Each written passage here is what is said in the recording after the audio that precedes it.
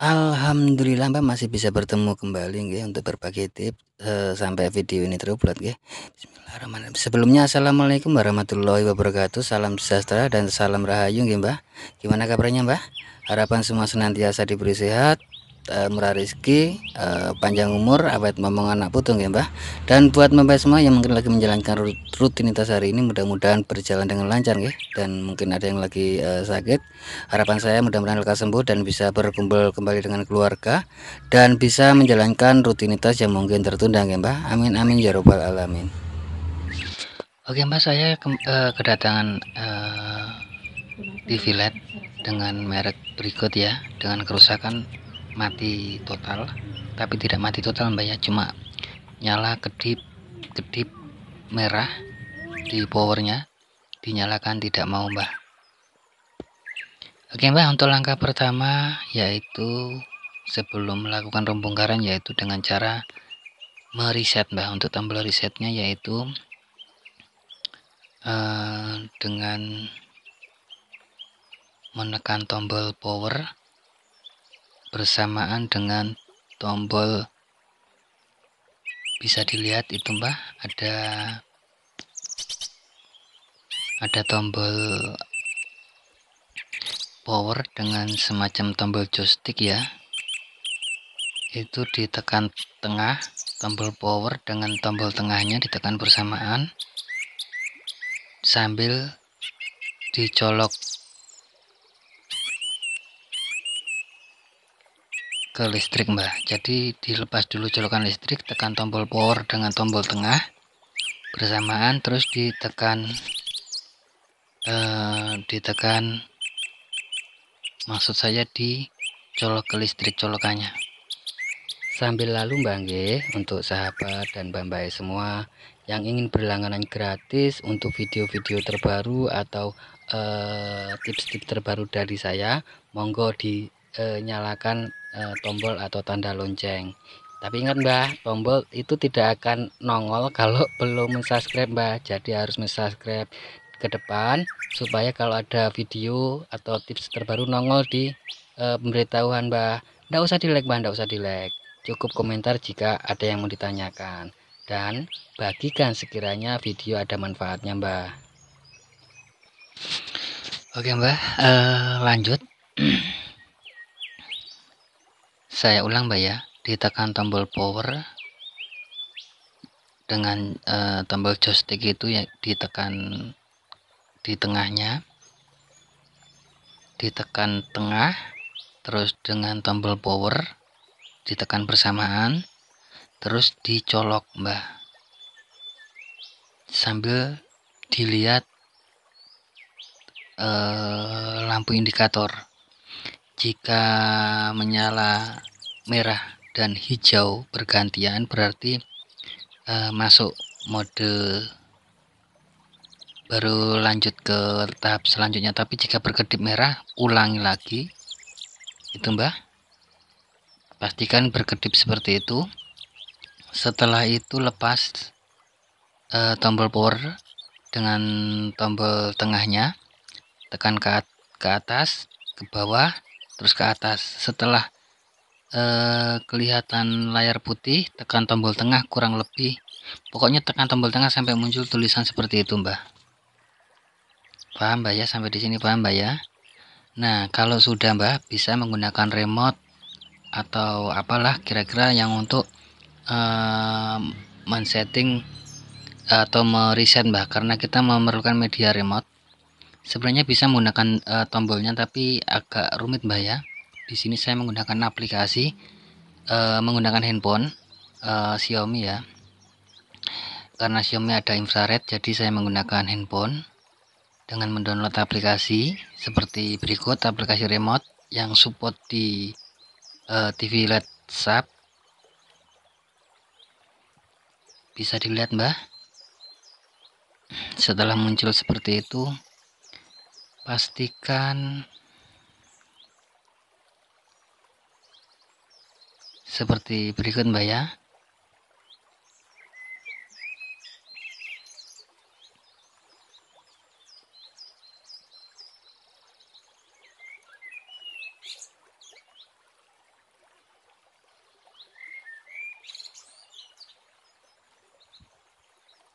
Saya masih cari-cari menunya karena eh, remote-nya saya tidak ada.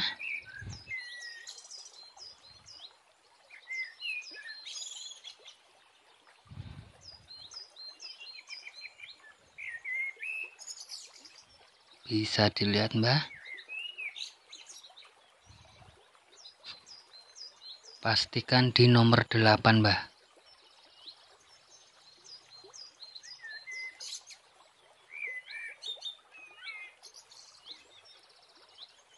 itu 01 pastikan di 08 di pojok atas itu pastikan di urutan 08 seperti berikut. Dan perhatikan di situ ada L E R R reset. Di situ menunjukkan angka 5 jika menggunakan remote agak mudah mbak ya. Di sini saya tidak uh, beliau tidak membawakan remote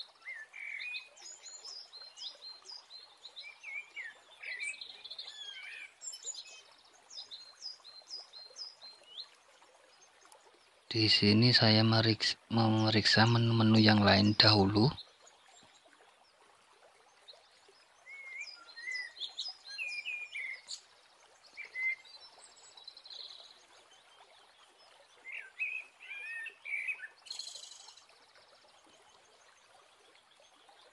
Karena uh, programnya ini agak nambah uh, baru saya pakai kali ini. Takutnya sebenarnya ada mbak ya punyanya Xiaomi itu ada uh, remote sendiri tapi saya memakai ini yang universal dengan alasan mungkin ke depan uh, sahabat dan mbak, semua mau uh, memakai handphone lain yang support infrared untuk remote bisa menggunakan aplikasi ini. Tapi kayaknya untuk aplikasi ini berbayar mbak. Saya pakai satu kali pakai saja untuk ini. Setelah kedua kalinya mungkin harus berbayar mungkin ya. Jadi untuk perbaikan kanda hari-hari ya untuk laptop uh, untuk TV SAP ini bisa dipakai. Untuk aplikasinya bisa download di Playstore kalau mau menggunakan handphone media handphone bisa juga kalau ada remote lebih praktis ya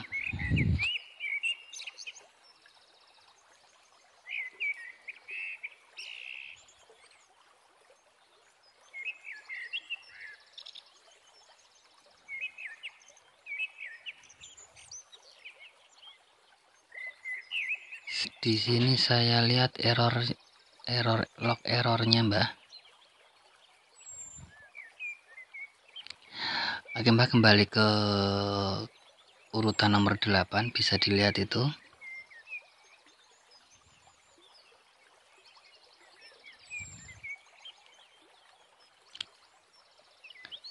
Error reset itu mbak ya.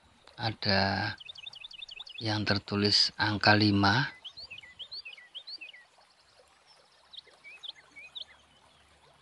di sini agak susah mbak ya. Kurang peka nih eh, HP-nya sambil dicas ini. Kebetulan handphonenya lowbat. Setelah itu tekan angka kosong. Sampai di situ tekan angka kosong. Itu 5 mbak ya. Kita set ke 0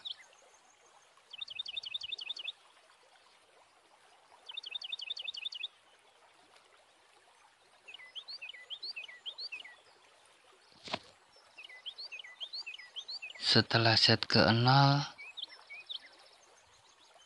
tekan OK.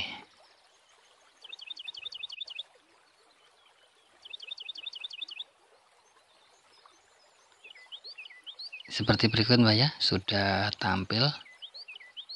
Kira-kira seperti itu mbak ya.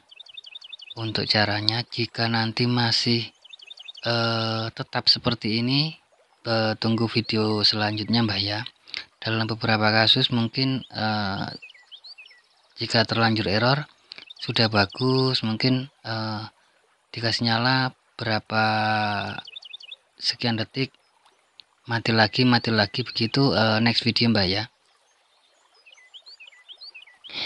Oke Mbak, jika sudah uh, selesai sampai di sini nanti uh, bisa dimatikan dahulu, baru dinyalakan, masuk di pengaturan Mbak ya, baru di reset.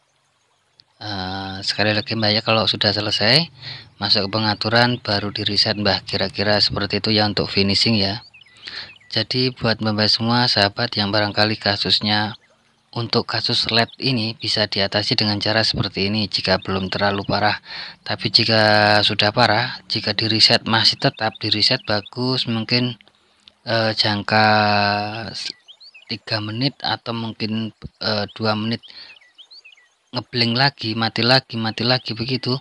Eh, lihat video selanjutnya Mbak nanti saya akan bikinkan Mbak ya. Oke Mbak kayaknya begitu saja Mbak ya untuk eh, video kali ini mudah-mudahan bermanfaat. Buat sahabat dan bambai semua, jangan lupa bahagia, berbanyak dalam mengucap rasa syukur. Akhir kata, akhirul salam, wassalamualaikum warahmatullahi wabarakatuh. Salam creativity.